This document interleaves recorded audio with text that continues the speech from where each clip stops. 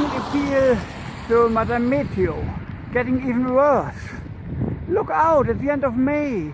We need uh, some nice weather. I just came over the road over there. Have a look how deep the, the rain is there inside. Oh, lo, lo. I was happy not to fall down. But, uh, yeah, you can't get really tent with this. Have a look at the car coming over there.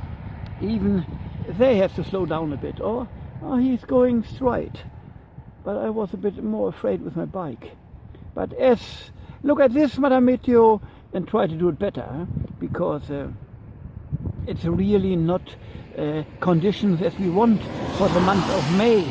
Normally we said it's like uh, the month of pleasure, sunny weather, but you can't go for barbecue with this. Hope you hear the message and change it against sun.